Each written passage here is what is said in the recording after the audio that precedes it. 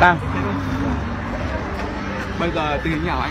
Bây giờ anh có bây giờ tôi nói đồng chí như này à, tôi nói với đồng chí hùng này nếu xe tôi không có lỗi rồi đúng không?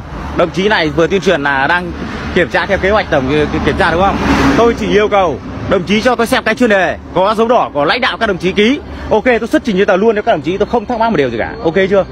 Thế thôi. Bây giờ- còn nếu bây giờ đồng chí mà bảo là kiểm tra tôi dựa trên cái giấy photo kia thì tôi nói cái thẳng các đồng chí là tôi không xuất chỉ đâu tại vì tôi nói là nếu đồng chí mà dựa trên cơ sở pháp luật đưa cho tôi xem cái kế hoạch photo đấy dấu đen xỉ ấy, thì tôi nói này, thế tôi cũng bảo với đồng chí là giấy tờ xe tôi đầy đủ tôi cũng để ở nhà hoặc là tôi cũng photo vợ tôi cầm cái đấy tôi cầm bản photo. Đồng chí nghe không? Không nghe được đúng không?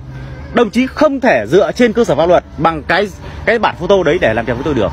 Mà đồng chí làm việc với tôi phải bằng dấu đỏ. Lãnh đạo, các đồng chí ký quyết định. Trong cái này tôi nói chứ đồng chí căn cứ vào đâu để đồng chí bảo tôi là là cái cái kế hoạch này là là là cái kế hoạch đồng chí, lãnh đạo đồng chí kia thôi. Ký để cho các đồng chí nào.